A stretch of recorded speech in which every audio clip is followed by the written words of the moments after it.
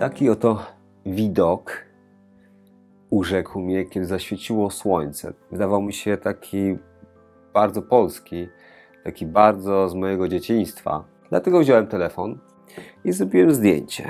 Bardzo lubię ten kadr, ale minęły dni i dzisiaj się tak patrzę i mówię, o, jest sobie firaneczka i są tutaj rzeczy. Co by było, gdybym te rzeczy stąd zabrał? Wszystkie, czyli oczyszczę parapet. I na tym parapecie właśnie byłem w sklepie. Położę takie bardzo polskie elementy. Jabłka. Oczywiście czas to uprzątnąć będzie. Czas na to, żeby to uprzątnąć. I te jabłka sfotografuję z takim tłem. Bardzo lubię fotografić proces. Proces myślowy, konceptualny. Coś mnie urzeka. Złapię to, ale mija czas i wzbogacam to. Kolejnym konceptem, kolejnym pomysłem i pytanie, gdzie mnie to zaprowadzi. Nagrałem ten film zanim pojawi się słońce, zanim spojrzę przez wizjer i zobaczę kadr końcowy. Więc nie wiem, czy to zdjęcie, które zrobię, będzie dobre, czy będzie to, jakie sobie wyobrażam w głowie, czy jednak zostanę przy tym z telefonu. Zobaczymy. Natomiast ten proces tworzenia jest czymś absolutnie dla mnie określającym fotografię. Czy to będzie 35? Chyba tak. Mój ulubiony obiektyw 35 mm. No dobra, zobaczymy jak to wyjdzie. Więc teraz stylizacja. Jabłek na parapecie. 35 na pełnej klatce i jedno zdjęcie. Zobaczymy, co z tego wyjdzie. Zobaczcie tutaj to okno. To okno, jak się mieści, prawda? I to. Jeśli robiłem zdjęcie telefonem, to ten kadr był całkowicie inny. Zobaczcie na rozmieszczenie. Nie ma parapetu oczywiście. I jak widzicie, z 24 jest pewien problem. No bo pojawia nam się już za dużo. Cały dach to już nie jest to, czego szukamy. Więc wracam i postanawiam założyć jeszcze pięćdziesiątkę. A pięćdziesiątka, moi drodzy, robi nam coś takiego. Już bliżej kadru, który był z telefonu, ale żebyśmy mieli jabłko na parapecie, musimy się cofnąć. No właśnie, jak się cofamy, ściągamy kamerkę ze statywu, to widzimy, że mamy troszeczkę. O, moglibyśmy się gdzieś czymś takim zmieścić ewentualnie. No to jest chyba najbardziej rozsądne ujęcie. Jest jabłko, jest okno, ale zobaczcie, żeby ono było widoczne w całości, to musielibyśmy z 50 podejść bliżej. Zobaczcie, jest okno w całości, ale no właśnie, nie mamy już reszty. No i na tym zostajemy.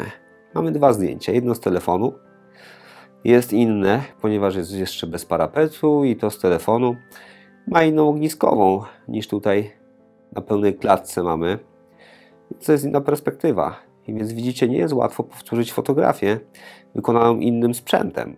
Warto zwrócić uwagę, że zmiana ogniskowej na pełnej klatce zmienia nam, prawda, kąt widzenia, patrzenia. Ale co się stanie, kiedy zmienimy sprzęt i użyjemy telefonu, który ma mniejszą matrycę, albo średniego formatu, który ma większą matrycę? Zmienia się też perspektywa. To już nie jest kwestia kąta widzenia, ale jednak matryca, wielkość matrycy czy analogowej kliszy wpływa na to, jak widzimy na zdjęciu przestrzeń. Jest ona inna, dlatego też zdjęcie z telefonu będzie na pewno inne na tej samej ogniskowej, którą, albo ekwiwalencie ogniskowej, którą użyjemy w pełnej klatce.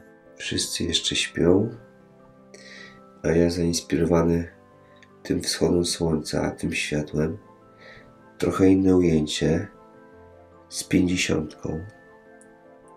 Czyli mamy pełną klatkę ogniskowa 50 mm, inne światło, inna kompozycja. Proces twórczy najczęściej wymaga czasu. Tak znalazłem kliszę w woreczku, niewywołaną kliszę z średniego formatu sprzed chyba trzech lat. Na niej znajduje się fotografia, może fotografie z projektu Adam i Ewa.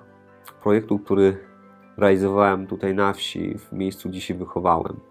Portretowałem ludzi i fotografowałem przestrzeń. Najczęściej to była przestrzeń w promieniu kilkuset metrów. Jest to opowieść o właśnie taka prosta opowieść o swoim dzieciństwie, o czasach, o latach 80. I to zdjęcie z jabłkiem, co ciekawe, otworzyło mi ten projekt na nowo. Ja go zakończyłem. Ej, ej, nie przeszkadzaj mi, mała. Ja go zakończyłem, wydawać się mogło, ale postanowiłem go przez to zdjęcie z jabłkiem zakończyć tak naprawdę. Czyli wywołać film, wrzucić zdjęcie z jabłkiem do projektu i e, chociaż jest z cyfry, a tamte są z średniego formatu, analoga, to jednak to nie ma znaczenia w efekcie końcowym. Nawet dwa zdjęcia z telefonu będą jeszcze w tym projekcie. E, I postanowiłem zaprojektować prostą książkę.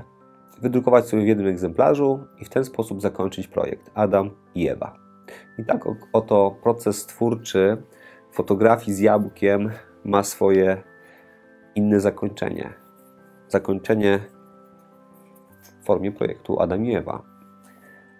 A najlepsze w tej historii jest to, a dzisiaj sobie to uświadomiłem, że tam, za tym oknem, w tamtym pokoju, sportretowałem wiele lat temu moich sąsiadów.